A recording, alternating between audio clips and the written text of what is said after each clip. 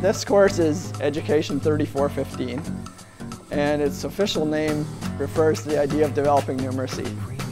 My name is John McLoughlin. I teach in uh, math education at UNB and a bit in the math department too. Now we're here to play basketball math, and so basketball math basically is an activity that integrates solving math problems and uh, doing some basketball in between. So you bring the answers down. If they're correct, you get a basketball, sink a basket. That, you don't get that. You got to go back. Yeah. Yes! I really like John as a teacher. He makes everything fun.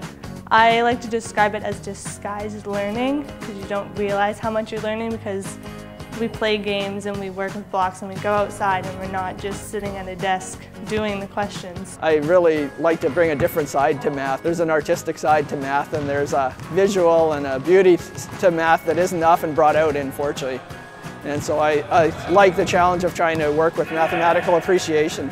His classroom is so welcoming and everyone feels comfortable to make mistakes, to ask questions, to work with anyone else in the classroom. He, he really makes sure that you understand the basics and not just the procedure behind getting to an answer. He wants to make sure that you really understand the math. No, how'd you get that? And he just makes it fun and presents things in ways that you may have not uh, thought about them before. Ultimately, mathematics is about pattern.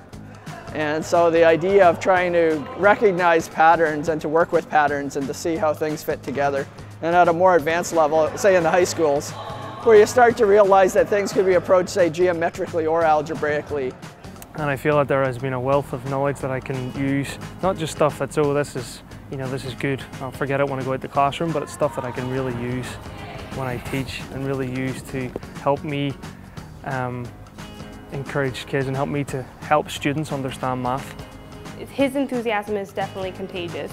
It, I, I, mean, we've been in here from 8 until 4 every day, but the day just flies by. We're having so much fun. For me, teaching is really about human relationship. And so it's really getting to know one's students, having a sense of where they're at, especially in a faculty like education. Yeah. I really see more that this is like part of a journey. Some have had horrific mathematical experiences, so you, you realize that some people love things, some people don't, and the chance to just work with them, I, I really think everyone's a moving story. And I think that's what it's ultimately about, moving it forward. Math can definitely be fun.